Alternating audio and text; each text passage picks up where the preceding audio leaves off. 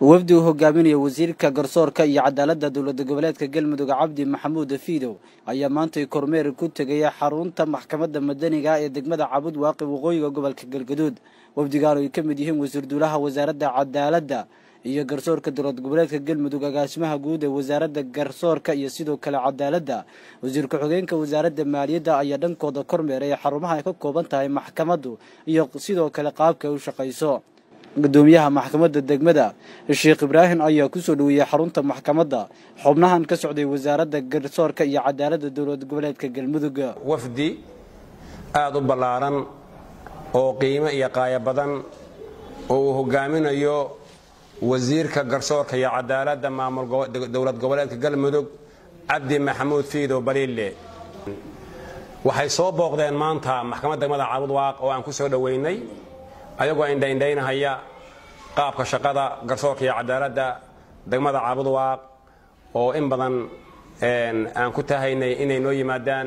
Booqashada aad maantana soo booqateen waa idin soo dhoweynaa wasiirka garsoorka iyo cadaaladda cabdi maxamuud fiidow ayaa uga mahad ceshay bahda maxkamadda iyo garsoorka degmada. Dhabar adayga shaqada ay bulshada u hayaan. Iswaraysi kadib waxaa noo soo baxday. Amaan ogaanay in shaqadu sidii loogu talagal ay ku socoto haba iska jiraan duruufo? Taasna aan la qabno.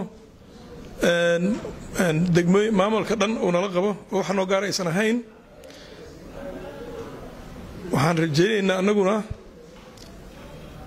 wax alla wixii daldaloola ama baahiya oo ka jira halkan gaar ahaan garsoorka iyo cadaaladda wasiirduulaha wasaaradda cadaaladda dowladda goboleedka galmudug cali galawac ayaa sheegay inay u mahad celinayaan bahda garsoorka degmada dhowaana ay samayn doonaan kormeer ballaaran oo galmudug oo dhana insha allahu tacala waxaan samayn doonaa kormeer ballaaran oo galmudug oo dhan ah si garsoorka wax looga qabto. Wasiir ku-xigeenka wasaaradda maaliyadda dowlad goboleedka galmudug mukhtaar cali cusmaan ayaa sheegay dhankiisa maamul kasta in lagu qiimeeyo cadaaladda iyo garsoorka. Qaran dumay meeshu ka dumaana waa cadaalad daro meeshu ka dhismaanna waa cadaalad weeyaan. Hadday noqoto dowladda galmudug iyo hadday noqoto dowladda federaalka iyo hadday noqoto caalamkaba meelahay naga qiimaynayaan waxaa ka mid ah garsoorkeenna iyo cadaaladeenna.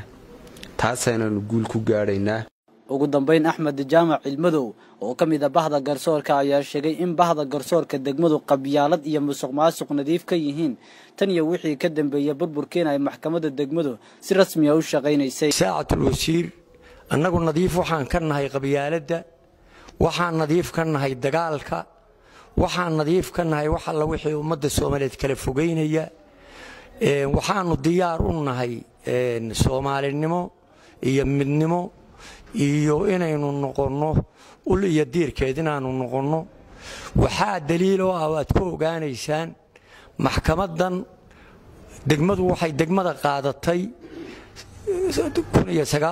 ii markaasaa la dhisay toddobaatan iyo saddexdii iyo maantay oo aynu fadhino alxamdulilaah rabbialcaalamiin garsoorkaa gacanta ku hayey siciid cabdi maxmed wararka t v-ga universal degmada cabud waaqe waqooyiga galgaduud